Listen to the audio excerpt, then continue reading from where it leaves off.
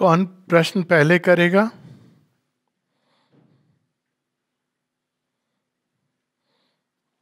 नहीं करोगे तो मैं ही करूँगा प्रश्न। प्रश्न करने चाहिए कि नहीं करने चाहिए? हाँ क्यों करने चाहिए प्रश्न? हम्म? प्रश्न मनुष्य के अंदर ये मनुष्य के अंदर ये होता है ना? एनिमल्स के अंदर नहीं होता है प्रश्न। मनुष्य के अंदर प्रश्न क्यों होते हैं? प्रश्नों के पीछे क्या होता है? प्रश्नों हम्म? कहो बच्चे। हाँ सवाल और एक शब्द है उसका। क्यूरियोसिटी हिंदी में एक बड़ा सुंदर शब्द है। बहुत अच्छा किसने बताया? जिज्ञासा। तो प्रश्नों के द्वारा हम चीज़ों को जानने की चेष्टा करते हैं। जानना चाहिए कि नहीं जानना चाहिए? वेरी गुड तो अब प्रश्न कैसे करने चाहिए हमको? जिनसे हम चीज़ों को जान सकें। किन चीज़ों को हमको जानना चाहिए? ऐसे तो पूरा संसार है। प्रारंभ कहाँ से करोगे? बहुत अच्छा। तो पहला प्रश्न क्या होना चाहिए? बोलो, झिझक नहीं, बहुत सही बात आपने कही है। मैं कौन हूँ, है ना? मैं कौन हूँ? वो एम आई बहुत सुंदर। दूसरा प्रश्न? हम क्यों हैं? यहाँ पर क्या पर्पस है हमारा आने का? है ना? तीसरा प्रश्न?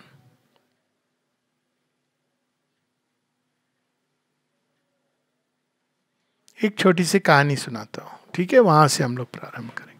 अब सब देखो, सब बड़े खुश के तो एक कवि थे। वो एक बार कहीं कवियों का होता है ना, थोड़े बाहर निकल गए और वहाँ जाके वो जंगल टाइप का था, बैठ के उनको बड़ा आनंद आ रहा था। इतने में वृष्टि शुरू हो गई, बारिश। तो उनको कहीं रख, रहने के लिए जगह ढूंढनी थी। तो पास में देखा उन्होंने कि एक घर जैसा दिख रहा है फार्म हाउस टाइप का, बहुत ज़्यादा भीड़ भाड़ नहीं थी। तो उन्होंने नॉक किया। नॉक नॉक तो दरवाज़ा खोला। दरवाज़ा खोल के उन्होंने, जिस व्यक्ति का घर था, उन्होंने उनसे तीन प्रश्न किए। पहला प्रश्न था, तुम कौन हो? स्वाभाविक है ना? कौन हो? दूसरा प्रश्न था, कहाँ से आ रहे हो? स्वाभाविक है। तीसरा प्रश्न था, कहाँ जाना है?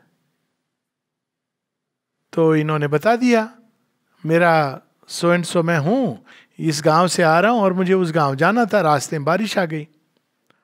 तो उन्होंने उनको घर में रहने के लिए जगह दे दी, एक कमरे में। अब ये सारी रात सोचते रहे कि ये प्रश्नों का उत्तर सही दिया मैंने क्या? तुम कौन हो? हम लोग नॉर्मली क्या करते हैं? जब पूछा जाता है, तुम कौन हो? तो हम नाम बता देते हैं। नाम में क्या है? आपका नाम कुछ भी हो सकता था। तो क्या उससे आपकी पहचान बदल जाती? नहीं बदलती ना। आप कौन हो? फिर और लोग बता देते कि मेरे पापा का नाम ये है। अब पापा तो पापा हैं। आप थोड़ी हो। तो ये दूसरी चीज़ हो गई। तो तुम कौन हो लोग? ये फिर वो लोग कहते हैं हमने पढ़ाई की है ये हमारी डिग्री है। तो आपकी डिग्री है?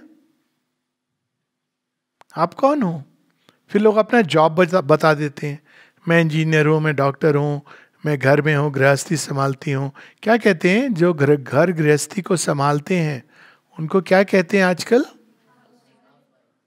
No not house wife yes home maker फ़र्क है दोनों में। होम मेकर तो वो, ये सारे तो ये तो सब आपके काम है। आप तो नहीं हो। तो बोलो फिर आप कौन हो? तो ये प्रश्न, पहला प्रश्न है, बहुत ज़रूरी है। इस प्रश्न के उत्तर पर सब कुछ डिपेंड करेगा आगे का। तो फिर लोग कहते हैं, अब नहीं मालूम, विज्ञान को ढूंढते हैं। तो लोग विज्ञान की ओर जाते हैं प्रश्नों के उत्तर के लिए। तो विज्ञान क्या कह देता है? वी आर सोशल एनिमल्स पशु हैं। अब पशु हैं तो फिर पशु जैसा व्यवहार होगा। सच में? हम पशु हैं क्या? किस सेंस में हम पशु हैं और किस सेंस में नहीं हैं? हमारे शरीर में कई चीज़ें जो पशु जैसी हैं। भोजन करते हैं हमारे श्वास लेते हैं। वो फेफड़े अलग तरह के हैं, हार्ट अलग तरह का, लेकिन पशु का एक फ़िज़िकल स्ट्रक्चर में कई चीज़ें जो पशु जैसी हैं। लेकिन क्या चीज़ें हमारे अंदर जो पशु जैसी नहीं है? थिंकिंग एबिलिटी पशुओं में होती है, बहुत इंटेलिजेंट होते हैं। Don't underestimate an animals very good discriminate करते हैं। और क्या करते हैं? रिफ्लेक्ट करते हैं। हाँ बहुत सुंदर प्रश्न करते हैं, पशु नहीं करते। हम प्रश्न क्यों करते हैं? हम जानना चाहते हैं चीज़ों के बारे में। ये हमारे अंदर डिफरेंस है और हमारे अंदर क्या डिफरेंस है? क्रिएटिविटी है, बहुत सुंदर बात है। हमारे अंदर कई चीज़ें जो पशुओं जैसी नहीं है। ठीक है ना? तो हम अलग हैं, पशुओं से केवल सोशल एनिमल नहीं है, हम मनुष्य हैं। ठीक है? ये पहला एक आंसर जहाँ पर आप पहुँचते हैं, मनुष्य हैं। यहाँ पर आप रुक जाते हो। तो मनुष्य है तो मनुष्य का क्या अर्थ होता है? मनुष्य की विशेषता क्या होती है? ये सारी तो आपने बताया कि मनुष्य करता है। मनुष्य के अंदर एक ऐसी चीज़ की चाह होती है जिससे उसको पहचाना जाता है कि ये मनुष्य है। क्वेश्चन क्रिएटिविटी ये साधन है। मनुष्य के अंदर एक चीज़ की चाह होती है जिसको कहते हैं प्रगति की चाह। आप और जानना चाहते हो, और करना चाहते हो, और आगे बढ़ना चाहते हो, है कि नहीं है? वो किसी भी तरह से आपके अंदर और जानने की और बढ़ने की, अब और जानना और बढ़ना का क्या लिमिट है? लास्ट लिमिट तक मनुष्य जाना चाहते हैं। तो मनुष्य के अंदर प्रगति की चाह है। इससे उनका मनुष्यत्व। तो अब यहाँ से प्रश्न उठता है कि प्रगति की चाह से मनुष्य कहाँ तक जा सकता है? कहाँ जा रहे हो? कहाँ जाना है? वापस अपने घर? हम पूछेंगे, घर कहाँ है? कहाँ से मनुष्य का जन्म हुआ? कहाँ जाना है? कहाँ कहाँ जाना चाहते हो? आगे जाके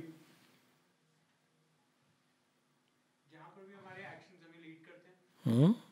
पर आप कहाँ चाहोगे कि जाना? एक्शंस को उस तरह रेगुलेट करोगे। बहुत सुंदर बात है। एम कहाँ है एम बहुत सही बात है। अब मैं आपसे एक प्रश्न करता हूँ कि अगर ये पूछा जाए कि जीवन में आपके पास कोई नो होल्ड्स पार्ट मतलब आपको ये नहीं कि ये हम करना चाहते लेकिन कर नहीं सकेंगे, ये हो नहीं सकेगा, ये सब चीज़ें कुछ क्षणों के लिए हटा दें। तो और कुछ मैं प्रश्न आपके सामने रखता हूँ। आप सुंदर जीवन चाहोगे या बड़ा डिसऑर्डरली केओटिक जीवन चाहोगे? पक्का ना? जीवन सुंदर, खाली वो बाहर का सुंदर नहीं, जीवन सुंदर। श्योर कोई डाउट नहीं? स्वस्थ जीवन चाहोगे या रोगी बनना चाहोगे? इसमें भी कोई डाउट नहीं है। शांति चाहोगे या झगड़ा झमेला चाहोगे? माय गॉड इतना कोई शांति तो नहीं है यहाँ ग्रुप में? हाँ वो खड़ी हो जाएगी। इतने सब लोग। शांति, बहुत अच्छा। आप जॉय चाहोगे या डिप्रेशन बहुत अच्छा। ज्ञान चाहोगे या अज्ञान? प्रेम चाहोगे या घृणा? वेरी गुड यही आपको क्या लगता है? ये आंसर बदलेंगे अगर हम इस समय इस ग्रुप में एकदम दूर देश से अमेरिका के बच्चे बैठे हो तो उनके अंदर भी ये मैं प्रश्न करूँगा तो ये उत्तर बदलेंगे? जो बहुत पुराने हम लोग सुनते हैं ना ऋषि मुनि, उनसे अगर हम ये पूछते तो उत्तर बदलते क्या? यही चीज़ है जो हम सब चाहते हैं अंदर से। तो उसको अलग अलग ढंग से लोग प्रकट करते हैं। ऋषियों ने उसको अलग ढंग से प्रकट किया। तो उन्होंने मानव यात्रा को कैसे बताया? कहाँ जाना है? तो उन्होंने ऐसे कहा, असदो सुना है ना तुम लोगों ने? असदो माँ सदगम्या। कहाँ से कहाँ जाना है? यहाँ से प्रारंभ करना है? असदो माँ सदगम्या। दूसरा तमसो माँ ज्योतिर्गम्या डार्कनेस से लाइट की ओर। और तीसरा क्या है? वेरी गुड मृत्युर्मा अमृतम गम्या। तो उन्होंने इस तरह से कहा कि हमारी यात्रा ये है। अब आपको एक कोऑर्डिनेट जीपीएस दे दिया गया है हमको वहाँ पहुँचना है। ये सब आप चाहते हो, स्वस्थ रहें, सदा बीमार ना हो, मृत्यु की निगे अमृतत्व हो, सब सुंदर हो झगड़ा ना हो, शांति हो, प्रेम हो, ये तो सब एग्रीड कर गए ना इस बात पर। वी आर ऑल वन अब दूसरी बात आती कि कैसे करोगे? ये संभव है कि नहीं संभव है? उसके पहले, पहला प्रश्न।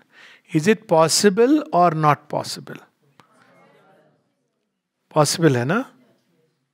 थोड़े बड़े लोगों से पूछोगे, पचास साल की उम्र में वो क्या कहेंगे? आपको क्या लगता है उत्तर क्या होगा? वाह! कितनी अजीब बात है ना? तो पहली बात मैं तुमसे ये कहना चाहूँगा, इस जज्बे को, जज्बा समझ रहे हो? इसको बनाए रखना। बड़ों की बातों में मत आना कि it is not possible okay अगर वो कहें इट इज़ नॉट पॉसिबल कहना, आपके लिए ऐसा होगा, हमारे लिए तो पॉसिबल है। ठीक है? अब ये जो पॉसिबल नहीं लगता है उसको पॉसिबल में बदलने के लिए अब आपको ये बस देखना है कि ये केवल विशफुल थिंकिंग से तो नहीं होगा। अब क्या चीज़ें हैं जो हमको जुटानी है जिससे ये नॉट पॉसिबल पॉसिबल हो जाए? वेरी गुड अब ट्राई करना तो कुछ भी अब लेकिन ट्राई कैसे करोगे? ट्राई के लिए भी आपको पता राइट एफर्ट केवल मेहनत नहीं कोई भी चीज़ आपको अगर लक्ष्य की ओर जाना है, ये सब बता दे, लक्ष्य क्या है, लक्ष्य क्या है? लक्ष्य की ओर जाने के लिए राइट एफर्ट अब मैं तुम्हें एक छोटी सी प्रश्न करूँगा कि राइट एफर्ट का मतलब क्या होता है? हुँ? गलत इच्छाओं को मारना माई गॉड सब योगी बैठे हुए हैं यहाँ पर। अच्छा क्यों मारना उनको?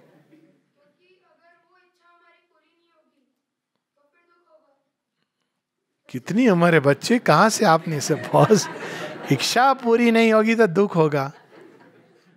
बहुत अच्छा जवाब है आपका, बहुत अच्छी बात तुमने बोली है। तो इससे तो एक पूरा पंडोरा बॉक्स खुल गया। इच्छाओं से कैसे आप जूझोगे, कैसे उनके ऊपर जाओगे, बहुत अच्छी बात आपने कही। इच्छाएँ से क्या होता है, इच्छाओं को इच्छा पूरी नहीं होगी, दुख होगा, वो एक बात है, वो ठीक है, वो आपकी बात सही है। लेकिन बहुत लोग इससे ये कहते हैं, वो बात का देखेंगे, दुख तो बाद में होगा, अभी तो हमको सुख होगा। दूसरे लोग तो ये कहते हैं, अभी तो हमको जॉय होगा, बाद में दुख होगा। कोई बात नहीं, पहले हम जॉय को उठा लें, जब दुख आएगा तो हम उसको झेल लेंगे। तो लेकिन प्रॉब्लम क्या करती है, इच्छाएँ हमको? डिस्ट्रैक्ट कर देती है। प्रॉब्लम ये होती है। इच्छाएँ हमको क्या करती हैं? डिस्ट्रैक्ट कर देती हैं। कैसे डिस्ट्रैक्ट करती हैं? आप यहाँ से निकले, हमको वहाँ जाना है। एक गाँव से दूसरे गाँव। तो रास्ते में कोई मिल गया, कहा, आप यहाँ जा रहे जरा मेरे साथ भी चलिए ना थोड़ी देर में। आप चले गए वहाँ पर। फिर वहाँ कोई और मिल गया, आप चले गए। करते करते करते करते, कहाँ कहाँ चले गए? भूल गए कि मुझे कहाँ जाना था। बहुत अच्छा लग रहा था। अचानक आपको याद आया कि अरे, मुझे तो कहीं और जाना था। तब तक भूल भी गए कि कहाँ जाना था। इतने सारे गाँव बदल दिया आपने। सुनिए ना नारद जी की कहानी। नारद जी ने यही चीज़ कृष्ण जी से पूछी। एक बार दोनों जा रहे थे, घूम रहे थे। नारद जी ने कृष्ण जी से कहा, कृष्ण जी, बहुत सुना है कि मनुष्य भ्रमित हो जाते हैं। भ्रम में आ जाते हैं। थोड़ा आप भी हमें बताइए, भ्रम क्या होता है? तो उन्होंने कहा, देखो, मैं लेक्चर वेक्चर तो देने के काम मैंने दूसरों पे छोड़े हुए हैं, ठीक है? मैं तो प्रैक्टिकल एग्ज़ाम्पल से बताता हूँ। एनी इसकी चर्चा हम बाद में करेंगे। जाओ, थोड़ा मेरे लिए पानी ले आओ, मुझे प्यास लगी है। नारद जी जाते हैं। प्यास लगी है, कृष्ण जी को फटाफट लाता हूँ मैं। मुझे जानना है, भ्रम क्या होता है? पानी पीते पीते उनको कोई मिल जाता है? और वो कहते हैं, आप हमारे घर पे आइए, आप तो बहुत बड़े मुनि हैं, वो चले जाते हैं घर पे। घर जाते हैं, कहते हैं, भोजन खाइए।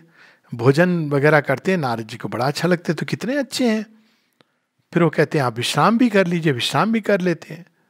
अगले दिन वो कहते हैं, आप तो इतने अच्छे ऋषि मुनि हैं, लग रहे हैं देख के। आप ऐसे जीवन क्यों बिता रहे हैं जंगलों में जाते हुए? शादी ब्याह करने में क्या बुराई है? कहते हैं हाँ तो मैंने सोचा नहीं, शादी ब्याह भी कर लेते हैं। पैसे भी कमाने लगते हैं घर वार बन जाता है।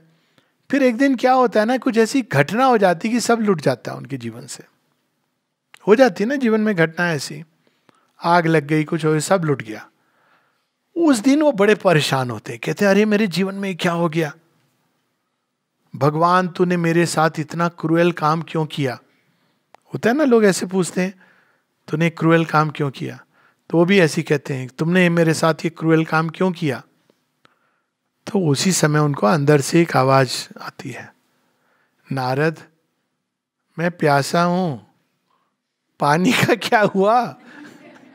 मैंने क्या किया? ये तो बाद में बताऊँगा। तुमने क्या किया? तुम तो पानी लाने गए थे मेरे पास मेरे लिए। कहा चले गए? मैं तब उनको सारा वो भ्रम का भंग होता है। ठीक है? तो कहने का अर्थ है कि संसार में दो प्रकार के लक्ष्य होते हैं। दो प्रकार की चीज़ें होती हैं पाने योग्य। जो कि बच्चे ने बड़ी सुंदर बात कही डिजायर्स की। इसमें बात ही नहीं कि अच्छी है, बुरी है। We should not talk like that हाँ? कुछ चीज़ें होती हैं जो टेम्पररी सेटिस्फैक्शन देती हैं, क्षणिक होती हैं। और कुछ चीज़ें होती हैं जो परमानेंटली आपके साथ जुड़ जाती हैं। ठीक है? अब मैं तुमसे कुछ प्रश्न करूँगा। इंफॉर्मेशन बदलती रहती है एक उसमें रहेगी तो वैसी रहेगी? जैसे जैसे ज्ञान का विस्तार होगा हाँ इंफॉर्मेशन आपके लिए नई नई चीज़ें आएँगी। तो इसमें स्टेबल चीज़ क्या है? इंफॉर्मेशन है कि ज्ञान है। ज्ञान है। तो इन्फॉर्मेशन तो आती रहेगी बहुत सारी, लेकिन आपको ज्ञान की ओर जाना है। इन्फॉर्मेशन को प्रोसेस करोगे, उसके मूल में जाओगे ज्ञान को। अब प्रेम प्रेम के साथ बहुत सारी चीज़ें जुड़ जाती हैं, है ना? प्रेम में क्या क्या चीज़ें जुड़ी होती हैं? मुझे क्या मिल रहा है है ना, ज़्यादातर लोग? और प्रेम के साथ दूसरा भाव क्या जुड़ा होता है? बस एक ही भाव है। मैं क्या दे सकता हूँ? किसने बताया? हाँ बहुत अच्छा। मैं क्या दे सकता हूँ? दोनों में से ज़्यादा सुंदर भाव क्या है? बहुत अच्छा। कौन सा भाव आपको मुक्त करेगा? क्योंकि you are calling the shot है ना? मुझे क्या मिल रहा है? मुझे क्या प्राप्त हुआ? इससे क्या होगा? आप दुखी रहोगे। क्योंकि कभी भी ऐसा होगा नहीं कि आपको सब कुछ मिल जाए। आज हो सकता है मिले, कल नहीं मिलेगा। तो अब प्रेम के अंदर टेम्पररी चीज़ क्या है और परमानेंट चीज़ क्या है? टेम्पररी चीज़ है कि मुझे क्या मिला और मुझे क्या प्राप्त होगा। ठीक है? और परमानेंट चीज़ क्या है? मैं क्या दे सकता हूँ? वो तो आपके हाथ में है। उसको कोई आपसे छीन नहीं सकता है। है ना? आपकी चॉइस है। आप दोगे या नहीं दोगे, ये आपके हाथ में है। तो उसमें परमानेंट चीज़ प्रेम में क्या है? देने का भाव। हर चीज़ के अंदर इसी प्रकार से। अब मैं सुंदरता की बात करूँगा। एक बाहर की चीज़ें जिनको हमको सुंदर बनाना चाहिए, सुंदर ऑब्जेक्ट्स हैं, सब कुछ। वो आज हैं, कल नहीं रहेंगे चेंज होता रहेगा इन सब के अंदर। लेकिन आपके व्यक्तित्व में अगर आप कोई सुंदर चीज़ को अपने अंदर स्थापित करोगे, सुंदर भाव, सुंदर विचार, कितने प्रकार के सौंदर्य होते हैं? आपने कहा था ना, सौंदर्य चाहिए, असुंदर नहीं। हाँ? सौंदर्य से क्या मतलब आता है? किस चीज़ को आप सुंदर बोलते हो? हाँ किस किस तरह की चीज़ को देख के अच्छा लगता है? इस कमरे को अगर मैं ला के ऐसी कुछ भी फेंक दूँ, काला रंग कर दूँ, कहीं पर ऐसी ऑरेंज किसी को कहूँ, तुम कुछ भी कर दो तो क्या लगेगा? असुंदर नहीं लगेगा। सौंदर्य के साथ एक चीज़ जो जुड़ी होती है, वो है सामंजस्य, हारमोनी। हारमनी, सुना है हारमनी? हारमनी हमेशा सुंदर होती है और डिसहारमनी असुंदर होती है। हारमोनी का मतलब है चीज़ें आपकी एक बड़े सुंदर ढंग से, सामंजस्यपूर्ण, उनके अंदर कोई टकराव नहीं है। टकराव नहीं है उनके अंदर। हारमोनी का एक एग्ज़ाम्पल बताओ। एक दो एग्ज़ाम्पल। दो एक्सट्रीम एग्ज़ाम्पल। आपने देखा है आकाश गंगा को? कितना सुंदर लगता है। भगवान ने हाथ से से फेंक दिया और देखो कितना सुंदर फूल को खिलते हुए। आप सब लोग तो शायद कई लोग गाँव के बैकग्राउंड से आए हो। अच्छा। गाँव वैसे रहे नहीं आजकल, पर हाँ कह सकते हो गाँव के बैकग्राउंड से। आपने कभी एक जंगल को देखा है जो वाइल्ड जंगल जो ग्रो करता है अपने आप में? देखा है ना? और एक ऐसे जंगल को भी देखा होगा जिसमें वो ट्रिम करके वो बना देते हैं शिप्स सुंदर कौन सा होता है? अब देखो, ये कैच क्वेश्चन है। हुँ?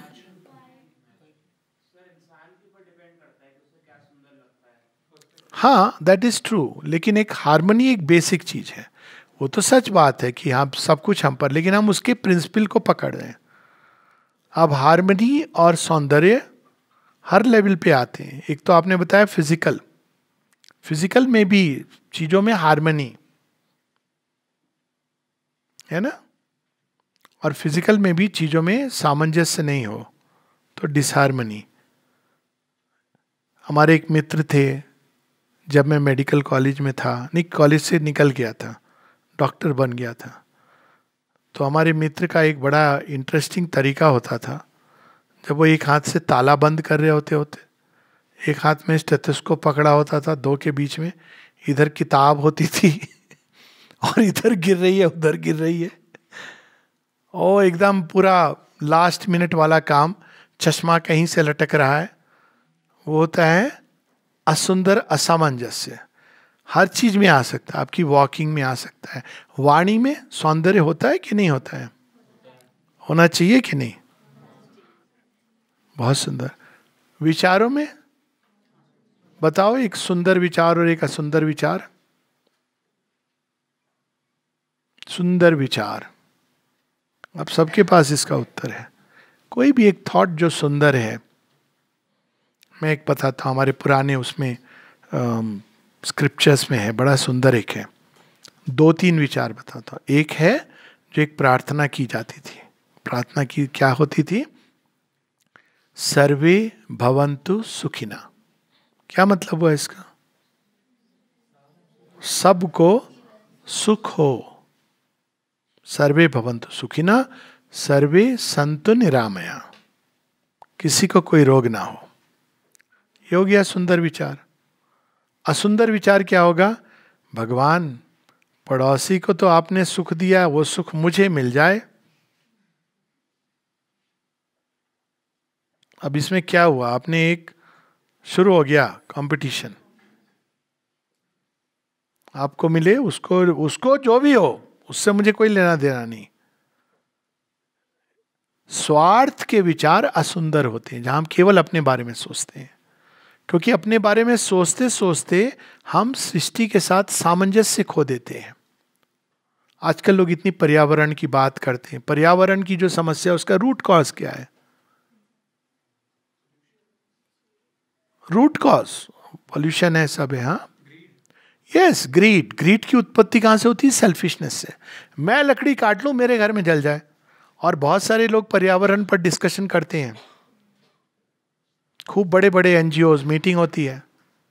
तो कभी कभी मैं भी रहा हूँ तो मैंने उनसे प्रश्न किया है, आप एसी के अंदर मीटिंग कर रहे हो? फ्रिज का ठंडा खा रहे हो? आपको पता है कि इससे भी आप प्रदूषण कर रहे हो? पर्यावरण को असुरक्षित कर रहे हो? कोई भी चीज़ जो एक जगह कुछ बढ़ाने में दूसरी जगह को खाली कर रही है, ये प्रिंसिपल है लाइफ का। तो आपने वो जो नेचुरल संबंध है उसको तोड़ दिया। स्वार्थ क्या करता है? हमारे संबंधों को तोड़ देता है। संकुचित करता करता केवल व्यक्ति अपने बारे में सोचने लगता है। तो जब अपने बारे में सोचता है तो वहाँ से ग्रीड उत्पन्न होती है। डिज़ायर से सबके रूट में स्वार्थ। केवल मैं। तो असुंदर विचार, स्वार्थ। सुंदर विचार, निस्वार्थ, सबका कल्याण हो। एक और बड़ा सुंदर इसी प्रकार से एक श्रुति है। मे आई हियर दी ऑस्पिशियस किसी को याद है पूरा श्लोक? भद्रम करणे भी श्रण्याम देवा। बहुत सुंदर है ये। मैं अपने कानों से सुंदर बातों को सुनूं। मैं अपने आँखों से सुंदर चीज़ों को देखूँ। ये क्या है? सुंदर विचार है क्या? सुंदर है। अब ये बताओ कि कैसे मैं करूँगा? कोई व्यक्ति है जो मुझे कुछ भी कह रहा है तो कैसे मैं इसको रियल लाइफ में जीऊँगा। कोई एक व्यक्ति। प्रार्थना करें कि मैं सुंदर, मेरे कान सुंदर बातें सुने। कैसे मैं प्रैक्टिस करूँगा? प्रैक्टिकल बताओ। अब कोई नहीं बोल रहा है। वो तो बहुत अच्छी हाँ? बहुत अच्छी बात आपने बोली। कभी भी हम जीवन में देखोगे कि मिक्स चीज़ें आती हैं। कानों में एक फ़िल्टर लगा लो। दस में से नौ बात बुरी बोली होगी, एक तो सुंदर होगी, सब में कुछ ना कुछ तो अच्छा होता है, और वो सुंदर वाली पार्ट को पकड़ लो। ठीक है? अब यहाँ से हमने ये दूसरी भी बात आ जाएगी कि हम सुंदर को देखें। तो हर व्यक्ति के अंदर कुछ ना कुछ तो सुंदर होते ही होगा। उस सुंदरता को देखो। कितनी अच्छी बात है, ये क्या हुआ? सुंदर विचार। और उसके विपरीत असुंदर विचार या असुंदर भाव क्या हुआ? दस में से नौ चीज़ें अच्छी होंगी, लेकिन साड़ी में दाग दिखाई दे रहा है। तुम्हारी साड़ी मेरी साड़ी से ज़्यादा सफ़ेद कैसे? ये पुराने समय का एडवर्टाइजमेंट था, तुम लोगों ने नहीं सुना होगा। हाँ रेन की चमकार बार बार ये क्या हुआ, ये विचार? या सुंदर हो गया। सुंदर भाव, असुंदर भाव। वे भाव जो सामंजस्य लाते हैं, सुंदर हैं। वे भाव जो तोड़ते हैं, काटते हैं, घृणा क्रिएट करते हैं, वो क्या है? असुंदर है। तो क्या फ़ायदा होता है? कुछ लोग बोले, ये सब ठीक है। फ़ायदा क्या होगा इससे जीवन में? जीवन की सारी समस्या असामंजस्य की समस्या है। डिसहारमोनी की। श्री अरविंद ऐसा कहते हैं। पता है कहाँ कहते हैं? कौन से ये महावाक्य? All problems of existence are problems of harmony पता है? कहाँ कहते हैं वो? उस किताब जिसके बारे में लोग कहते बड़ी कठिन है। कौन सी? The life divine the life divine Savitri तो वैसे ही सरल है। द लाइफ डिवाइन में कितनी सुंदर बात कही है। समझ आ रही है ना सबको? सारी प्रॉब्लम्स एग्जिस्टेंस की डिसहारमोनी की प्रॉब्लम है। अब डिसहारमोनी की प्रॉब्लम हर चीज़ में देखो, वो हर लेवल पे ले जाते हैं। सबसे बड़ी डिसहारमोनी क्या है? हम जैसा जीवन जीना चाहते हैं, वास्तव में हमारा जीवन वैसा नहीं है। अब आगे हम वापस इसी बात पर। हम रहना चाहते हैं स्वस्थ, पर हमारी दिनचर्या स्वस्थ नहीं है। हो गई डिसहारमोनी हम चाहते हैं हमारे अंदर सुंदर विचार आए, पर नहीं आते हैं। चाहते यही है कि सुंदरता हो। हम चाहते प्रेम हो, लेकिन घृणा आती है लौट लौट कर। तो अब यह समस्या हो गई, इसके कारण हमारे अंदर में डिसहारमोनी रहती है, एक लेवल की। दूसरी और एक डिसहारमोनी होती है हमारे अंदर। हमारे अंदर कुछ अलग अलग भागे झगड़ा करते हैं। संसार की सबसे भयानक चीज़ है झगड़ा। जिसमें बड़ा सुख मिलता है लोगों को। हुँ? होना चाहिए। नहीं होना चाहिए ना? शांति होनी चाहिए सबने कहा। झगड़ा होता है, अंदर में कैसे झगड़ा होता है? लेफ़्ट ब्रेन और राइट ब्रेन लड़ रहे होते हैं। लेफ़्ट ब्रेन कहता है, ऐसा करो। राइट ब्रेन कहता है, नहीं, वैसा करो। माइंड कहता है, ये करना है। हार्ट कहता है, नहीं, ये नहीं करना है। और हार्ट कहता है, यदि ये करना है तो विल कहता है, नहीं, मैं तो नहीं करूँगा। और अगर विल कहती है, मैं करूँगा तो बॉडी कहता है, मैं तो बहुत वीक हूँ, ये सब आप आपस में डिस्कस करो। मुझे तो बस आराम चाहिए, दो जून की रोटी चाहिए। अब क्या हुआ? झगड़ा शुरू हो गया अंदर में तो डिसहारमोनी हो गई। अब डिसहारमोनी को हारमोनी में कैसे आप कन्वर्ट करोगे? डिसहारमोनी रोग का मूल कारण है। डिसहारमोनी जो होती है हमारे अंदर ना, रोग, नाना प्रकार के, शरीर के रोग, मन के रोग, समाज के रोग, ये सब वहाँ से कलह आपस में वैमनस्य सब वहाँ से शुरू होते हैं। आप कैसे हारमोनी करोगे? बातचीत करोगे तो दोनों में मतभेद होगा। ये पार्ट कहेगा, मैं करेक्ट हूँ, ये कहेगा, मैं करेक्ट हूँ। तो कैसे आप हारमोनी क्रिएट करोगे? कोई क्लू कैसे? थोड़ा ये, थोड़ा वो। टॉलरेंस में ये समस्या है कि अगर जो सुंदर भाग है वो असुंदर को टॉलरेट कर रहा है, जैसे सोचो। अब क्या हो रहा है संसार में? अब मैं तुम्हें एक उदाहरण देता हूँ। अभी हम लोग यहाँ पर सब बैठे हैं, आपस में डिस्कस करें माँ यहाँ पर प्रकट हो जाए, हैं। लेकिन एक्चुअली मतलब फ़िज़िकल बॉडी में जैसे हम। और माँ कुछ कहें तो आपके अंदर क्या भाव आएगा? सी इज़ राइट और सी इज़ रॉन्ग डिवाइन का कोई अंश अंश आ जाए। तो जनरली हम उन चीज़ों को ये मान के चलते हैं कि उन्होंने शायद सही होंगे। हम डिस्कस कर सकते हैं, उसमें कोई बुराई नहीं। तो हमें अपने अंदर सबसे जो उच्चतम चीज़ है ना, उसको पकड़ना है। हारमोनी वैसी क्रिएट होती है। हर तरह की चीज़ें हैं। टॉलरेट करोगे तो और कंफ्यूजन होगा। मेरे घर में सांप आ गया। अब मुझे टॉलरेट करना चाहिए। शिव तो मैं हूँ नहीं। समस्या हो जाएगी। घर में है, मैं जानता हूँ ऐसे लोगों को पालते हैं सांप। करना चाहिए ऐसा। क्यों? You should be tolerant tolerate करो। सांप है तो क्या प्रॉब्लम है? उसमें भी भगवान है, सृष्टि है। आप बोलोगे, सर, आप मज़ाक मत करो। आप भी जानते हो कि सांप काटेगा तो क्या होगा? बाद में वन साइडेड टॉलरेंस होगा। हम तो सांप को टॉलरेट करेंगे, सांप हमें टॉलरेट नहीं करेगा। बाद में एक बचेगा। तो आप सांप को, सांप और आप दोनों में भगवान हैं तो आप सांप के साथ क्या करोगे? Let us see hmm? क्या करोगे? रिक्वेस्ट करिए, ज़रूर करिए। बहुत पास जाके मत करिएगा। दूर दूर से करिए, चलो, ठीक है? अच्छा है तुमने ये नहीं बोला कि मारेंगे। मारना नहीं, हा?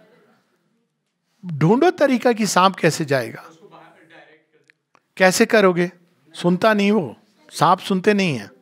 आप स्नेक कैचर को बुलाओगे। ऐसे लोग हैं स्नेक कैचर सपेरे। और सांप को क्या बोलोगे सपेरे को? मार डालो, नहीं, इसकी जगह है।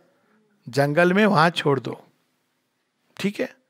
तो इसी प्रकार से जब हमारे अंदर दोनों तरह के, क्यों? क्योंकि बात यहाँ मेन इंपॉर्टेंट क्या है? लेकिन अगर ये ऐसी अवस्था आ जाए, जहाँ आप दोनों में से एक को सरवाइव करना है, उस समय क्या करोगे? ये घटना अगर हो गई तो आप ये बोलोगे, हम दोनों समान है, क्या फ़र्क पड़ता है? मैं ही मर जाता हूँ। तो क्या होगा उससे? सांप और दस घरों में जाएगा। तो यहाँ पर हमको समझना है कि एक हमारे विचारों में, भावनाओं में, लक्ष्य में, संकल्प में उच्चतम जो है हाईएस्ट पॉइंट उसको पकड़ो। हम्म? यहाँ का हाईएस्ट पॉइंट कौन सा है? श्योर बिंदु पीक? हाईएस्ट पॉइंट आप हाईएस्ट पॉइंट कैसे पकड़ोगे? अब तक आपके जीवन में बहुत सारे विचार आए होंगे, भावना आए होंगी, संकल्प आए गए। आया राम, गया राम। अब जरा रिफ्लेक्ट करो और सोचो कि सबसे ऊँचा भाव या ऊँचा विचार, सबसे ऊँचा लक्ष्य क्या हो सकता है मनुष्य का? बताओ, सबसे ऊँचा, भरो, जितनी उड़ान भरनी है भरो। किताब वाली बात मत बोलना, क्योंकि फिर मैं पूछूँगा, मोक्ष क्या होता है? हाँ? Okay we can take that लक्ष्य। सुखी होने का, प्राय सभी लोग यही बोलेंगे, सुखी होना। थोड़ी देर के लिए सुखी या परमानेंटली सुखी? तो परमानेंटली सुखी होने को अगर मान लो हमने सबसे अपना ऊँचा विचार मान लिया, लक्ष्य मान लिया तो अब आप क्या करोगे? दुख के कारणों को हटाओगे। लॉजिकल अब आ गया आपका मिस्टर डिज़ायर? डिज़ायर दुख करेगा। सुखी होना है तो डिजायर्स को हटाइए। देखिए कितना पैराडॉक्सिकल चीज़ है। नॉर्मली लोग क्या कहते हैं डिज़ायर को फुलफिल करो तो सुखी होगे। लेकिन जिसका लक्ष्य सच में सुखी होना, वो डिजायर्स को हटाएगा बिकॉज़ उसको पता है कि यही दुख का कारण तो यही है। है ना इंटरेस्टिंग चीज़? फिर जहाँ भी आपके अंदर वे चीज़ें, कई चीज़ें होती हैं जो डिज़ायर से नहीं, अपने ही अंदर आप, मनुष्य दुखी होता है। कभी देखा है आपने कब दुखी होते हो और कब सुख महसूस करते हो? अंदर में कब दुखी होते हैं? जब दुखी होते हो तो कौन से विचार आते हैं? कभी देखा है? दुखी हुए हो कभी कभी ना होना कभी, लेकिन हुए होंगे ना? उस समय क्या विचार आते हैं? नेगेटिव मतलब किस चीज़ को केंद्र बना के विचार घूम रहे होते हैं? Ah very good excellent self पूरा। मैं व्यर्थ हूँ, मैं बेकार हूँ, मेरे साथ ये क्यों हुआ? मेरे साथ उसने ये किया किया। मेरे साथ उसने क्यों नहीं किया? सब में कॉमन फैक्टर क्या होता है?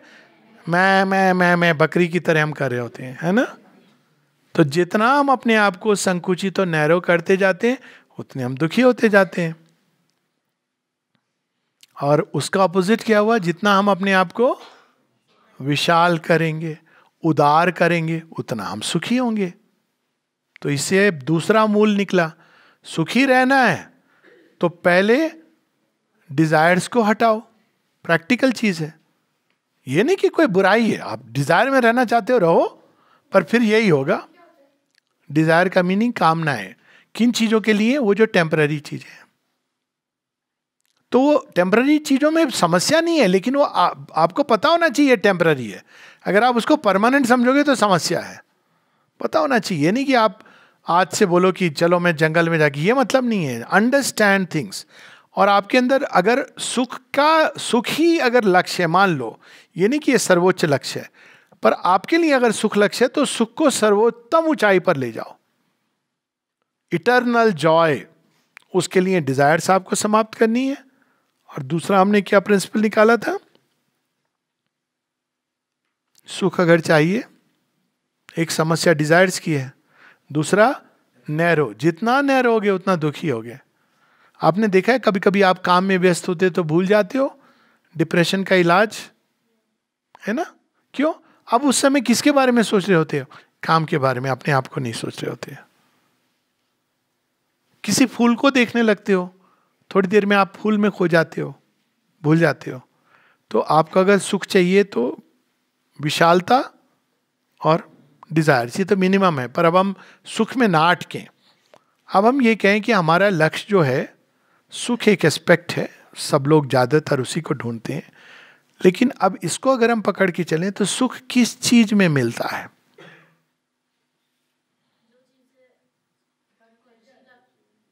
हाँ वो तो है. मान लीजिए, कहा जाए कि उस पर्टिकुलर वस्तु में आपको सुख मिलेगा. आज गए थे ना सब लोग ट्रैक पर. बड़ा मज़ा आएगा। हम्म? कहाँ गए थे आप लोग? श्री अरविंदो पीक। ये बताओ, मज़ा वो रास्ते में जो आप जा रहे थे, उसमें आया कि पीक पर पहुँच के आया? रास्ते को क्या कहते हैं? जब आप कोई लक्ष्य की ओर जा रहे हो दैट इज़ कॉल्ड प्रोग्रेस आप प्रगति करोगे तो सुख आएगा।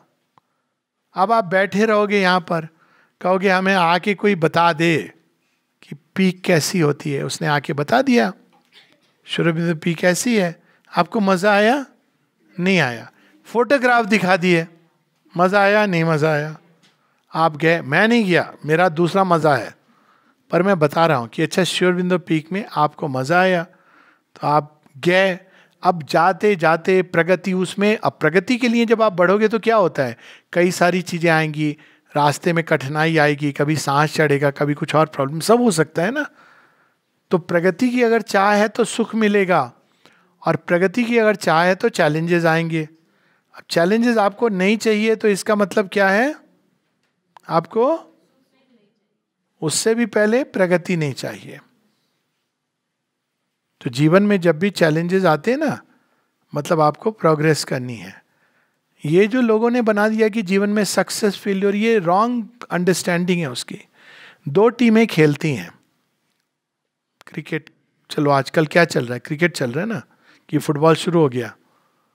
फुटबॉल इंडिया में नहीं अभी हुआ, क्योंकि पैसे नहीं आते इतने, इसलिए। अच्छा क्रिकेट चल रही है दो।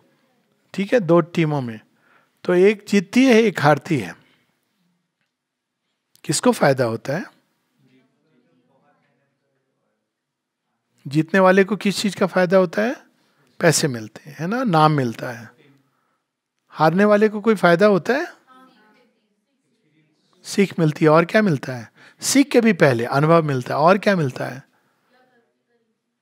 वही सीख हो गई। उसका स्टेमिना डेवलप हो रहा है कि नहीं?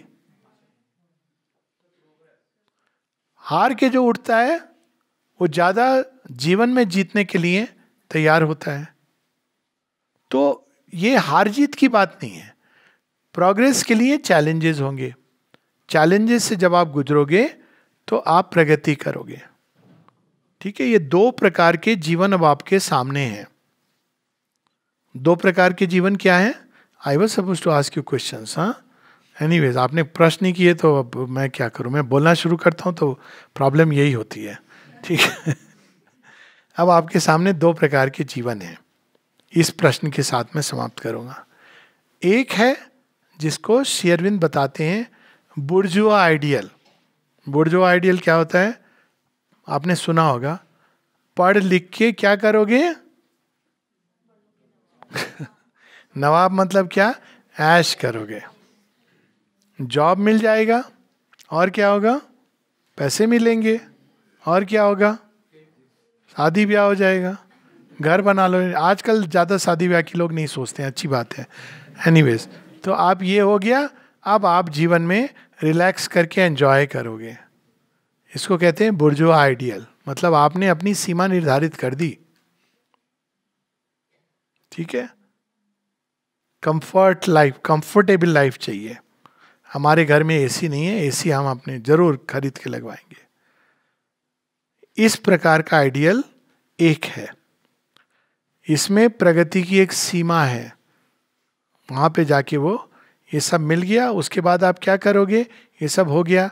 अब हम रिटायरमेंट की प्रतीक्षा करेंगे। यही करते हैं लोग। देखा होगा ना ऐसे बहुत सारे मॉडल हैं दुनिया में ओल्ड मॉडल और नई मॉडल की जो जनरेशन है वो क्या कहती है? दूसरा आइडियल क्या है? शेरविन कहते हैं समुराई का आइडियल समुराई कौन होता है? वो एक योद्धा होता है। वो किसी कंफर्ट जोन सिक्योरिटी उसमें बस उसको ये नहीं चाहिए होता है। वो कॉन्क्वेस्ट की ओर जाता है। वो अपने ही अंदर, वो कोई ना कोई ऐसा लक्ष्य ढूंढता है जो अभी नहीं हुआ है, विजित नहीं हुआ। वो एक विजय अभियान पर निकला है। आपको ये मिल गया, आप बस हो गया मेरे लिए। ज्ञान के क्षेत्र में वो विजय अभियान निकाल लेगा। हृदय के भावों में एक विजय का अभियान निकाले। नहीं, मुझे तो ये हृदय के इन भावों को कॉन्कर करना है। विजेता।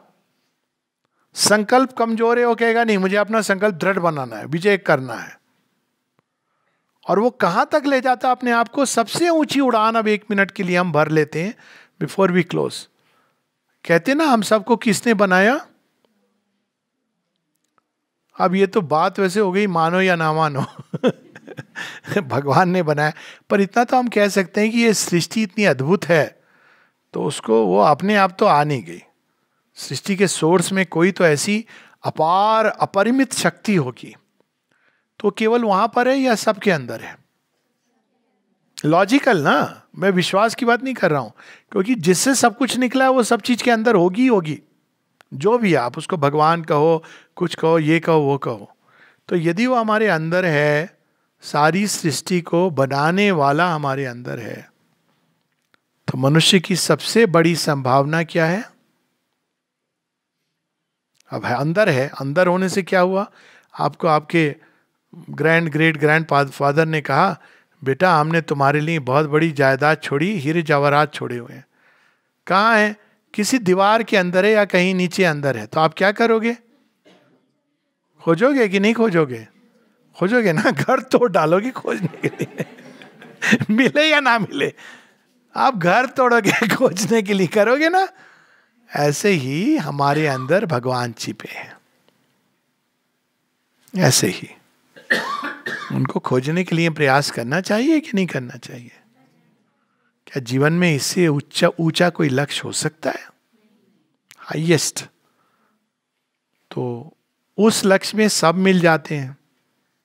अल्टीमेट सुख वहीं मिलता है, क्योंकि सुख या आनंद की उत्पत्ति वहाँ से अल्टीमेट प्रेम भी वहीं मिलता है। सृष्टि में जो भी प्रेम है, उसका सोर्स, हर चीज़ का सोर्स तो एक ही होगा। ये थोड़ी होगा एक इधर से प्रेम आ रहा है, एक इधर से। जो भी संसार में आप अनुभव करते हो, उसका अल्टीमेट सोर्स वही है। अल्टीमेट ज्ञान वहीं से सब कुछ निकला है। अल्टीमेट प्रेम वहीं से, अल्टीमेट शांति वहीं से। तो इसीलिए भगवान की खोज को सर्वोच्च लक्ष्य माना गया द हाइएस्ट एडवेंचर और उसको अगर आप ढूंढ लेते हो या उस रास्ते में थोड़ा भी बढ़ते हो तो ये सारी चीज़ें जो इधर उधर से ढूंढ रहे हो ना, यहाँ से सुख मिल जाए, वहाँ से प्रेम मिल जाए, यहाँ से शांति मिल जाए, ऐसे हो जाए, ये सारी चीज़ें पैकेज में मिल जाती हैं पैकेज डील है।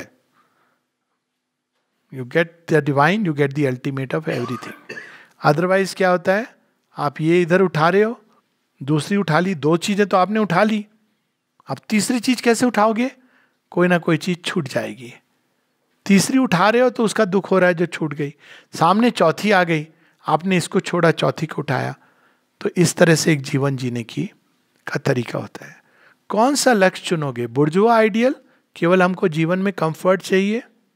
बड़े होके थोड़ा पैसा, मकान, जॉब या एक योद्धा का समुराई का आइडियल। पक्का? अच्छा मेरे समुराई, आपको बहुत नमन है। प्लीज़ जब घर जाओगे, अपने पेरेंट्स को ये शिक्षा दे देना, ठीक है?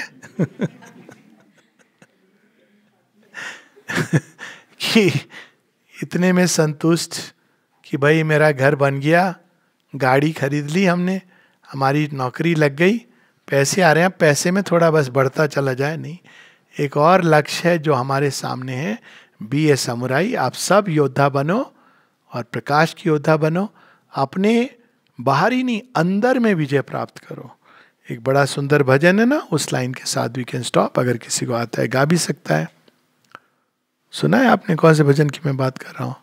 हमको मन की शक्ति देना, हम विजय करें।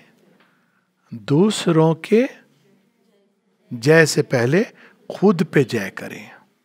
ठीक है? सो आज से शुरू हो जाए एक्सरसाइज खुद पे जय करें। थैंक यू अरे, ये सर ये क्या? सो स्वीट सो स्वीट पर कोई क्वेश्चन है आप लोगों की? ऐसा लगा आप प्रतीक्षा कर रहे थे, सर कब बंद करो तो हम ताली बजाएँ। सर, अब तो बंद करो। ऐसे होता है ना कई बार, कर देते हम लोग, कोई गेस्ट आके बड़ी देर कर रहा है तो हम उसको कहते हैं सौंप लेंगे आप? कि अब आप जाइए, है ना? लेकिन मेरे पास तो दस मिनट हैं। मैं वो ढीठ ढीठ ढीठ मेहमान की तरह हूँ कि दस मिनट नहीं जाऊँगा। अब आप बोलो मुझे। प्रश्न तो करो नहीं तो फिर प्रश्न करूँगा। और मैं प्रश्न करूँगा तो एक घंटा लगेगा उत्तर में। नहीं नहीं इज़ जस्ट जोकिंग हाँ आप क्या कह रहे थे? आप कुछ उसके ऊपर कोई कमेंट कर सकते हो। प्रश्न नहीं कुछ भी आप चाहो। हाँ। नहीं वो मैं जानता हूँ मैं अपना। ताली से हम क्या सीखते हैं? ताली से हम क्या सीखते हैं? चलो सब चीज़ से सीखते हैं। ताली से क्या सीखते हैं? एप्रिसिएशन जिसने अप्रिशिएट किया बहुत अच्छी बात है। अप्रिशिएट करना चाहिए। See the auspicious hear the auspicious उसी का ये पार्ट है। आपने देखा किसी में बहुत अच्छी चीज़ है? आपने कहा नहीं तो काम तो अधूरा रह गया। है ना? एक दूसरे को अप्रिशिएट करना सीखना चाहिए। अप्रिसिएशन और फ्लैटरी में लेकिन अंतर है। फ्लैटरी की जाती है ज़बरदस्ती कुछ लाभ की आशा से। अप्रिसिएशन हर किसी में कोई ना कोई चीज़ अच्छी होगी। उसको अप्रिशिएट करो। ठीक है? तो ये अप्रिसिएशन सीखा। दूसरा तो कॉमन वही है ताली दोनों हाथ से बजती है। कोई समस्या है तो दोनों तरफ़ बराबर की ज़िम्मेदारी है। तीसरा रिस्पेक्ट है।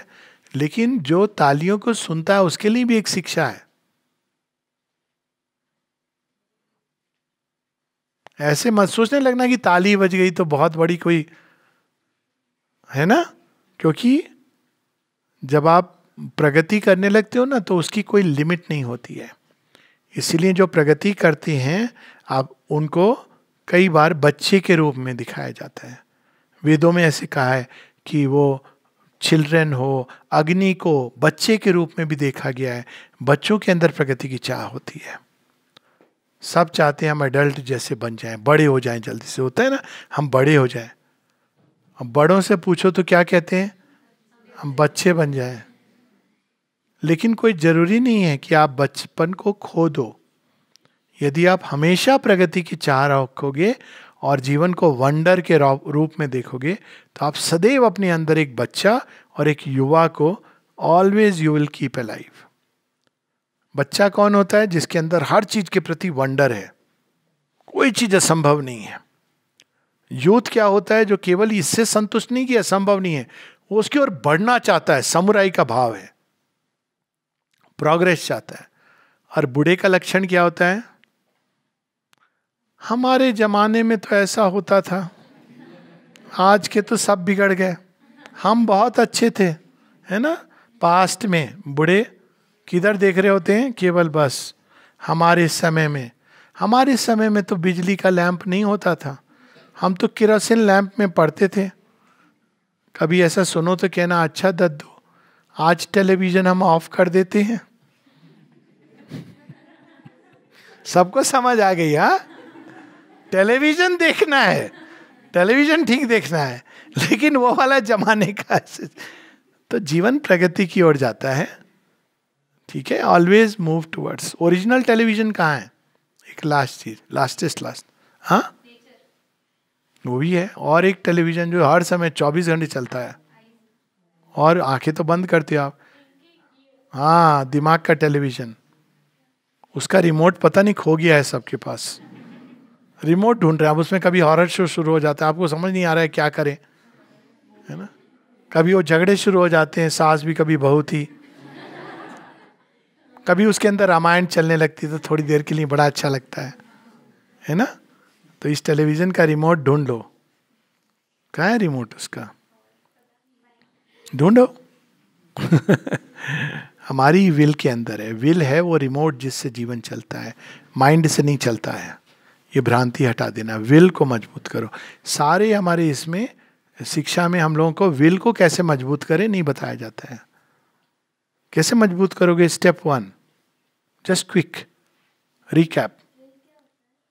इच्छा शक्ति, संकल्प शक्ति। संकल्प शक्ति हो कैसे? कोई चीज़ आप नहीं कर पा रहे हो। It's a power.